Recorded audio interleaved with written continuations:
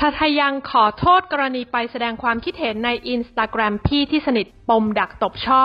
ลั่นไม่สนับสนุนให้มีการใช้ความรุนแรง หลังจากเกิดดราม่าโดนถล่มเละสำหรับทาทายังนักร้องสาวชื่อดัง กรณีไปแสดงความคิดเห็นในอินสตาแกรมของพี่ที่เคารพคนหนึ่ง ในเชิงสนับสนุนให้มีการใช้ความรุนแรง แถมบูลลี่ช่อจนแฮชแท็กทาทายัง ติดเทรนด์ทวิตเตอร์อันดับที่หนึ่งไปแล้วนั้นทาทายังนักร้องสาวเจ้าของฉายาสาวน้อยมหัศจรรย์ ก็ได้ใช้อินสตาแกรมของตัวเองถึง2 account เข้ามาแสดงความคิดเห็นว่ารบกวนด้วยค่ะ และร่วมลงขานใต้ภาพที่เขียนไว้ว่า ดักตบอีช่อช่อง Arrival ล่าสุดนะคะทาทายังได้ชี้แจงผ่านอินสตาแกรมส่วนตัวระบุว่า กับเหตุการณ์ที่เป็นกระแสในตอนนี้ ทาขออนุญาตชี้แจงนะคะ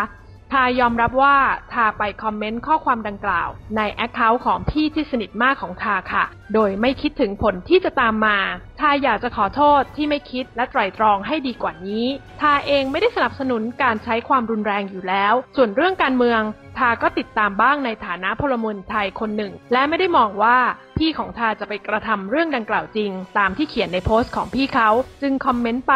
หลังจากนี้ทาจะระมัดระวัง และคิดให้รอบคอบมากขึ้น ก่อนแสดงความคิดเห็นใดๆกว่านี้นะคะ ขอโทษกับเหตุการณ์ที่เกิดขึ้นค่ะ ล่าสุดมีความเคลื่อนไหวจากฝั่งปารีนาไกรคุป สสราชบุรีพัก พลังประชารัฐ ซึ่งเธอได้โพสต์ Facebook ส่วนตัว เป็นกำลังใจให้ทาทายังว่า รักทาทายังเพราะทาทายังรักเธอประเทศไทย ขณะที่อู้หฤทัยม่วงพุนศรีได้โพสต์ Facebook ภายหลังจากทาทายังออกมาขอโทษผ่านอินสตาแกรมของตนเองไปแล้วว่า ประชาธิปไตยอย่างไรถึงมาห้ามศิลปินดารานักร้อง แสดงความคิดเห็นทางการเมือง ต้องนักการเมืองเท่านั้นหรือ ถึงจะพูดเรื่องการเมืองได้ ไม่จำเป็นหรอก